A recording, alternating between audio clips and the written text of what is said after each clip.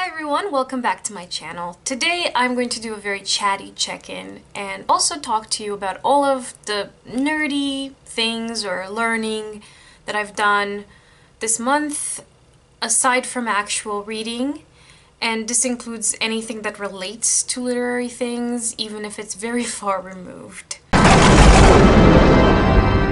So this has been a very distracting month for me. I always think that October is going to be like my month because it's my favorite month of the year always.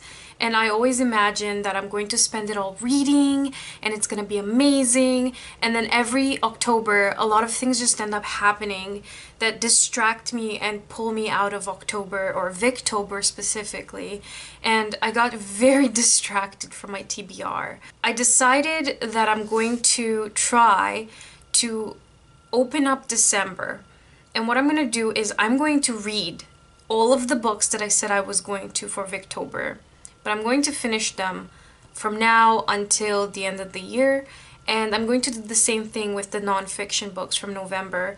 So this way, I will definitely finish my TBRs without leaving them there. Sometimes I find that if I said I was going to read a book for a particular month or challenge and don't get to reading that book in that month, I think, oh, well, then I'm not going to read it anymore.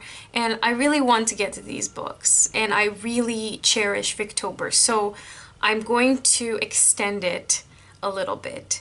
Now, the reason this month has been very distracting is that first, in the first week, I got a kitten. He's right there. I mentioned that I got Cthulhu as an emotional support animal for Humbert Humbert, who had a hard time coming out of his shell, and also for myself because I wanted to cuddle something and just kind of hanging out with them a lot has resulted in being very distracted. So I've been reading to them every day from this book called A Street Cat Named Bob because I thought they could like really empathize with the main character, Bob, and you know, he's from the streets like Humbert Humbert. And they enjoy listening to me read and I enjoy reading to them.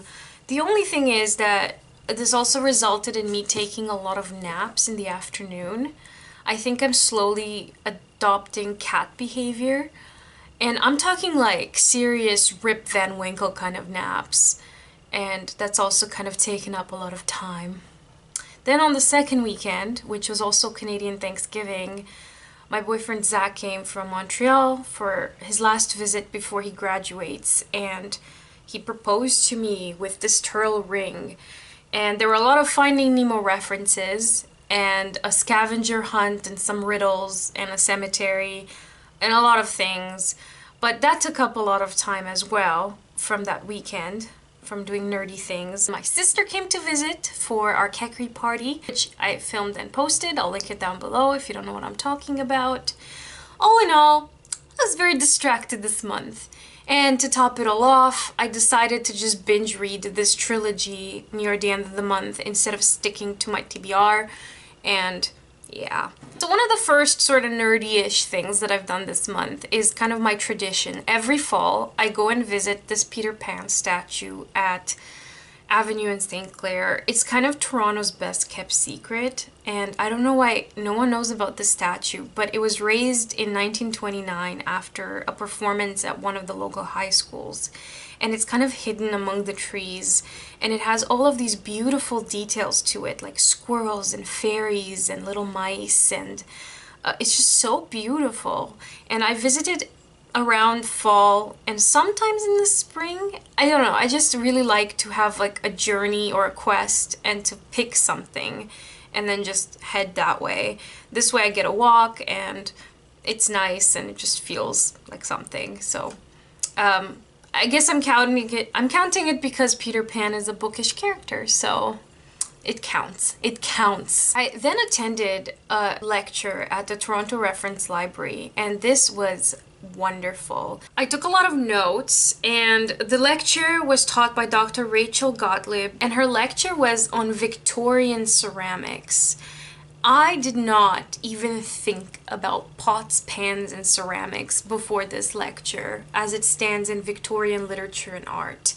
But this professor has taught me so much within like an hour and a half it just blew my mind. She looked at all of this artwork from the Victorian period and she looked at where teacups were placed in a painting and what this meant symbolically and what color they were and what would this say about the class, about the person in the painting, what is it trying to say, how is the lighting framing this teacup. And she also looked at paintings that had a lot of um, ceramics in the background. She also examined some mentions of teapots and ceramics in Victorian literature, which went really well with Victober. She included some Dickens, some Lady Audley's Secret, some other references from Gaskell, and how uh, cutlery and teapots and ceramics are mentioned at length in detail and how they're put there for a reason to tell us something about these characters. I also kind of joined the William Morris Society of Canada since I was at that event because I didn't know it existed. William Morris was like kind of Victorian patron of the arts in many ways. He had a printing press, he created incredible designs.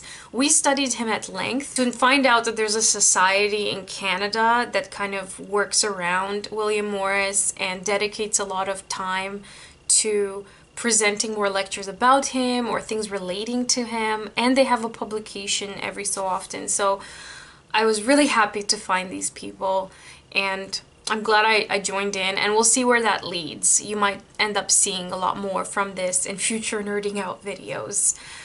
And then I tried Curiosity Stream for a little bit. I was curious, but it's basically like Netflix for documentaries. And I found this one documentary that piqued my interest on Jack London. It's two episodes long, it's about two hours. It was really well done. I also discovered two new podcasts. So one of them is called The Folklore Podcast. So in the series, the main host invites people from all around the world to talk about elements from their culture and from their fairy tales and folklore.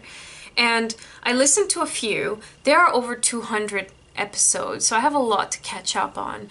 But what really blew my mind, and I should have thought about this before, but I watched this, I listened to this one on Baba Yaga, and the guest had a very thick Russian accent. And for some reason, I was taken aback like, whoa, why, why does she have such a th- thick Russian accent? And I just realized that I've been so used to hearing people talk about fairy tales and folklore in English from England or America or Canada and I never even considered how a person might actually sound from their own country speaking about their own folklore and fairy tales. It was amazing. I will link the podcast down below, it's incredible. And the second podcast I found is called Fairy Tales for Forgotten Children.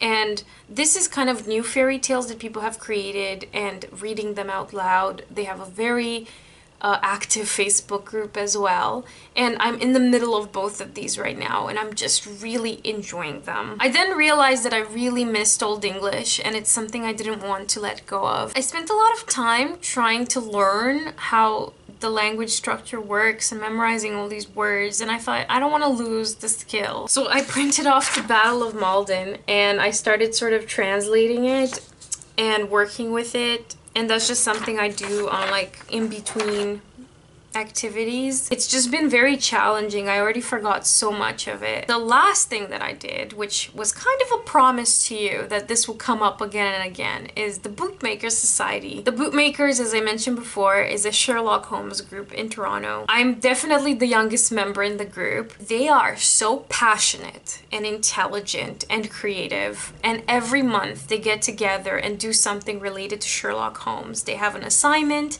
they sing songs, they're just wonderful. Like, I cannot emphasize how much I love this group. This month, the meeting was at a tennis club, and this resulted in a very interesting walk through Toronto because the subway was down that day. And the place was decorated for Halloween, so it had all these really cool decoration in the lobby. And it was kind of a brunch where we all just had brunch and talked about Sherlock. And there was a very interesting speaker this time. He talked about this book called Sherlock Holmes is Like.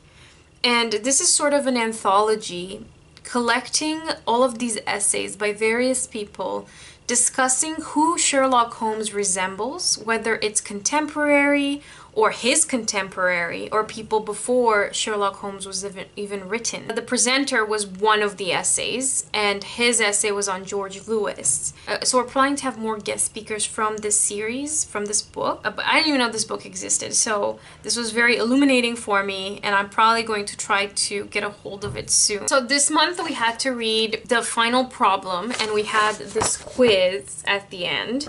And on top of that, we had a song. So the song was composed by this one member, and the song is called You're a Mean One, Moriarty, sung to the tune of You're a Mean One, Mr. Grinch. So we were singing about this, and I'm pretty sure the staff of the tennis club was just looking at us like, what are these people doing? But it was so much fun, and I just really, really enjoyed it. I can't wait to go to the next thing. And I love having homework. I love when people tell me what to read for an event. And it was very short, the final problem. And after you do the quiz, people get prizes. So this time I got a freebie, and this is Memoirs from Mrs. Hudson's Kitchen. They actually call all the helpers Mrs. Hudson's. So this is a cookbook. And what it does, it takes all of the food mentioned from Sherlock Holmes in addition to other stuff.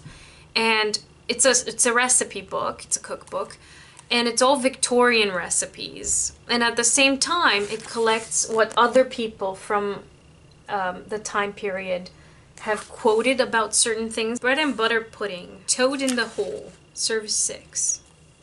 And the last thing that I sort of did that's related to books in a way is I got very nostalgic about my cassette player. When I was little, I used to listen to fairy tales on loop on a cassette player, and I would like to collect cassettes with fairy tales on them. I decided that's like my new project right now.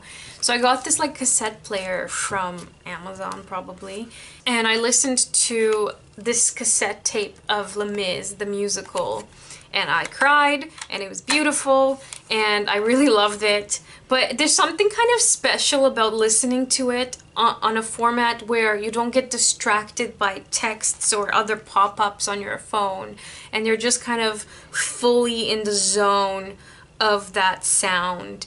And it's something that I haven't experienced since most of my regular audiobooks come from Audible and it's on my actual phone and a lot of things are always happening and it's very distracting. That's it. Those are all the bookish things I've done this month aside from actual reading. Please share with me what you've done this month. I look forward to hearing from you as always and I will see you in my next video. Bye!